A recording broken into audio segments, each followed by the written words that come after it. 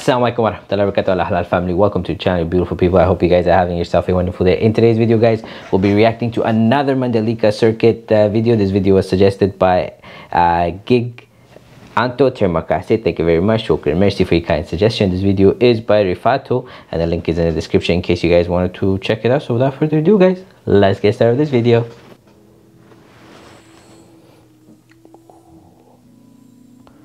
What a beauty eh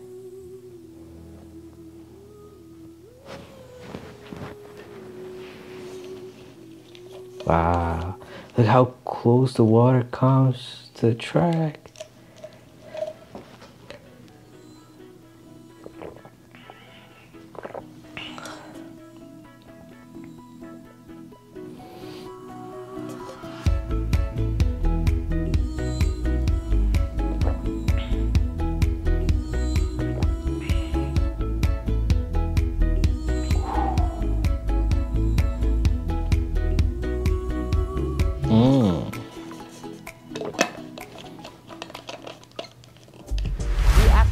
Diasumsikan eh, untuk MotoGP waktu tempuhnya adalah sekitar 1 menit 30-an. Eh, itu baru asumsi, nggak tahu itu benar atau enggak. Tapi ya kita One coba minute aja. and 30 seconds around the full Oke, track. Berangkat. Wow. Oke, kita masuk di straight pertama sepanjang 800 meter. I think it's the same uh, bike that he was using in his last video. Kita akan menuju It's not an actual super bike, but it's just kind of like a scooter.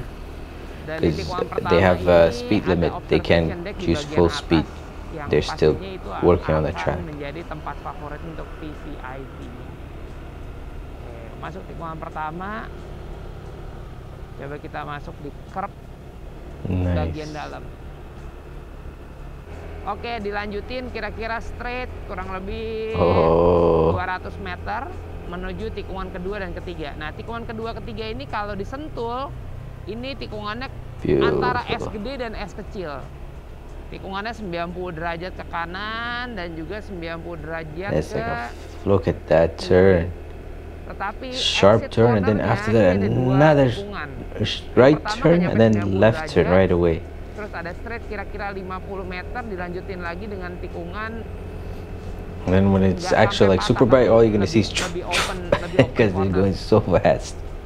Lanjut lagi ke tikungan berikutnya. Itu mungkin tikungannya tikungan 2, Wow. 3, 4 ya. Masih ke tikungan 5. Look at the surrounding area. All you see is like karena lapangannya blue skies. greenery. lebar. Gua rasa ini tikungan nggak akan diangkat. Imagine gasnya. seeing it from the point of view of the, the riders, like such a beautiful area, Oke, masuk lagi, lanjut. Wah, ini tuh benar-benar bagian yang super high speed deh. Di sana menuju ke sini tikungan nomor 7. Nah, di tikungan ini pasti juga nggak diangkat gasnya karena menuju ke Nice. tikungan 8 Look at all, nah, all those palm trees area. on the right side. Nah, di tikungan 8 dan 9 ini agak tricky karena berada di dalam satu slope gitu ya. Ini 789 kayaknya nih. Berada di satu slope. Jadi tikungannya nggak kelihatan kayak over crest, sedikit over crest dan tikungannya S. Tiga tikungan S. Look at that drone just following him. Kalau nyalinya besar sih tetap aja ini ya full gas. Agak diangkat sedikit. Agak diangkat sedikit. Nah, ini tikungan 9. Tikungan 9 tentunya gaspol, nggak ada angkat-angkat sama sekali. Dan itu adalah tikungan nomor track. 10 yang paling terkenal tadi, yang Yeah. ada speed trapnya.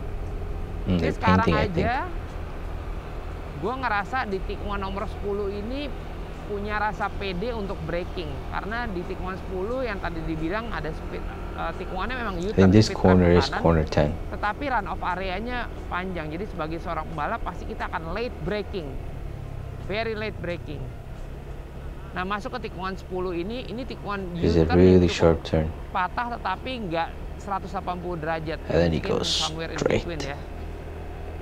Nah ini pun run off areanya besar di sebelah kiri. Si run off area ini selalu akan membuat rasa percaya just going diri, cruising eh, driver-driver atau rider untuk buka gas secepatnya. Masuk ke tikungan 11 kelihatannya tikungan ini kelihatan patah dan sempit karena perspektif mata ya.